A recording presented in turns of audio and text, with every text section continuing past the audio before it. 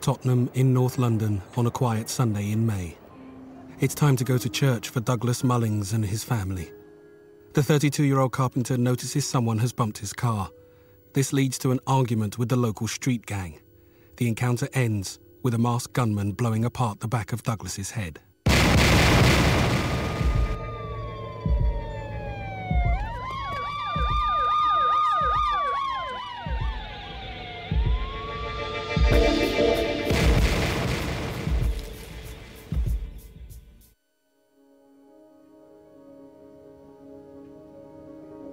When Douglas was taken to hospital, it was decided quite quickly that he should be protected by armed police officers. He'd been attacked by incredibly violent people. I thought there was a very good chance that these people might wish to go to the hospital and cause him further harm in order to stop him from uh, speaking out. Normally we're a, a murder investigation team and it's very unusual for us to take on an attempted murder. That's usually the, uh, the shootings team's job. But in this instance, I think that the opinion was, which I suppose is wrong, is that uh, he's so severely injured or so critically injured that he won't survive. Hello there. I'm from Trident. Trident is an elite unit focused on black on black gun crime in London. To reassure the local community, a murder team takes the case. We're examining Meridian Walk, which is a, a, walkway into this little housing estate. And by a great stroke of luck, there is um, CCTV there that we think have caught most of the incident. The tape shows a stolen gold Mercedes bumping into a parked blue Honda. Its owner, Douglas Mullins, goes up to the occupants of the Mercedes. The driver, wearing a distinctive black and white hat, confronts Mr. Mullins. Well, we also have many witness statements from people who have witnessed this offence from the beginning. They have told us that the man who was arguing with Douglas is called Sykes. This is Douglas here with the green top and the blue trousers. He's come up and he's talking, and Sykes straight away is straight up close to him, saying, Well, you know, what's wrong, man? You know, he's just driven his car into his and it's not his fault. Douglas has stood up to him and said, Hang on a second, you know, what are you going to do? How are you going to pay for my car? Natalie, his daughter, has witnessed this all happening. They felt that there were big men around Meridian, and how dare we ask them what happened to my mum's car. My mum was just trying to get to the bottom of it, and that's when immediately they said, We spoke to your old man about it, and we dealt with your old man, and basically, he's a dead man, he's a dead man. You know, there was no reasoning with them because at that, at that time they're not rational. You know, they're just hyped up delinquents, and they just wanted to start trouble that day, and they did. You can see all the ewes just lining up around him, circling him, circling like sharks. You can feel the aggression just bubbling away. They armed themselves with blinds, with pieces of wood, with bricks, and they're just charging, you know. And we stood our ground, and that's what they didn't expect us to stand our ground because at the end of the day, they thought they could make us, you know, run away. Uh, Douglas has been hit by several things that have been thrown. There was um, bricks found in his house all along his corridor. Then he's got hold of a long knife. Obviously, because of his fear, he's then chased these people around. I believe that was the time when they made that fateful call and said, yes, we're going to sort this out our way. Sykes was seen on his mobile phone and that he's actually um, been heard to say, bring your piece. And I tried to explain to my mum that means a weapon of some sort, either a gun or a knife. And I think we better just go because it's, it's not, this is not, you know, something that we're used to. Let's just go. Witnesses have told us that the gunman was brought to the scene in a Red Rover. He's got the shotgun on his right hand side, and he also has a black bandana covering the lower part of his face. He has run from Commercial Road to Meridian Walk and stopped outside number 57, where Jennifer and Douglas were. Douglas was just stepping into the house, and there was a gasp. And that's all I heard. And I thought, what's that? And I turned around and I saw somebody lean over and something just lift up, which was a gun. And I just turned around. I just heard bang.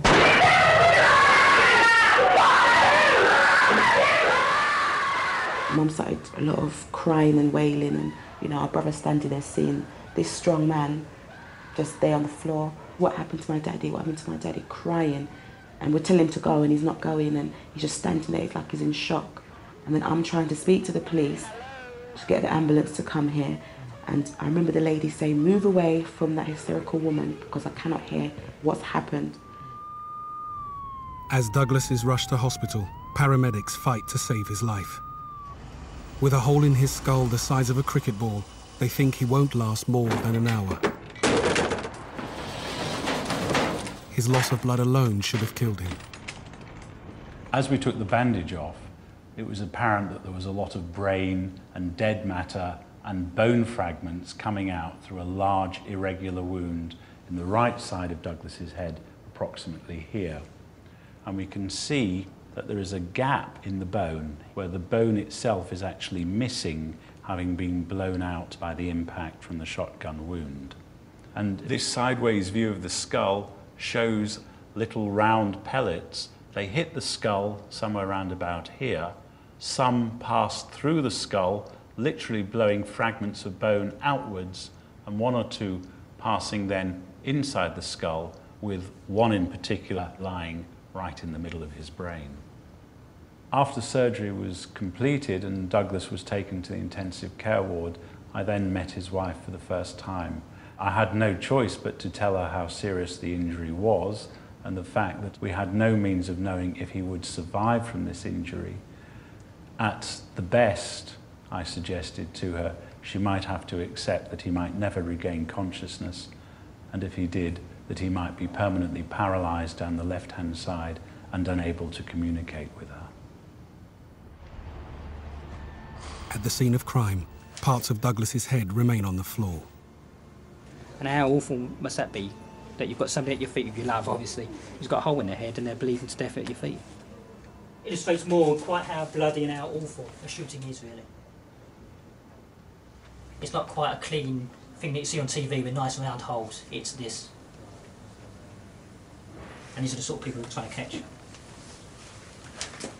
As we've left the, um, the holes, where the pellets have hit from the shotgun charge, where the tape is, you can see the holes. It would be ideal was we, we'll get the gun and try and put it back and try and match it to the actual shot that's here. Trident hopes these patterns will help identify the shotgun that was used. While the search for clues continues, the close remains cordoned off.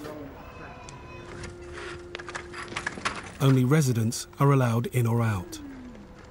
Ironic that my neighbours and the friends that live around there said that since this has happened and it's so so sad that they've had some peace, that people can sleep at nights when it's quiet. That it took my husband to get a bullet in the head for that to happen. I'm very angry. Some of the youths who fought with Douglas are in a local gang called the Meridian Crew. Over the last four years, they have caused trouble for all the residents, including the Mullings family. The area was nice when we moved there. It's just particular family. And they made you know that they ran Meridian Walk.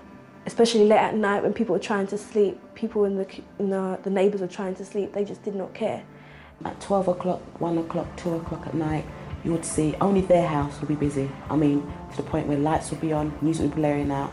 Pirate radio stations, um, you'd see girls running in and out of the houses, um, fights outside that involved guns, and you know, you see little children running for their lives because to see two grown men fight, even if it's play fighting, it's very scary. They would throw all their drug paraphernalia on the floor, so all the young kids would see either needles or foil wrappers. Um, they would sit there blatantly, you know, smoke what they were smoking in front of young children. And these young guys were supposed to be the little role models for the younger boys that were growing up. Just abuse, swearing, just had no respect. And unfortunately, they, this is what it led to.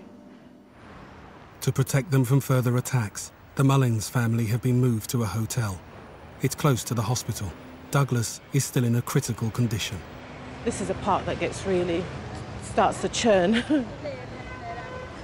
because sometimes you don't know what you're going to what's going to what you're going to see basically. No change in victim condition. It's critical but stable on uh, life support. They were looking at slowly turning the machines off to see he was self-sufficient and able to support his own uh, life support systems.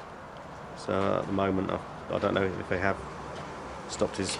If he does start coming round, um, I mean.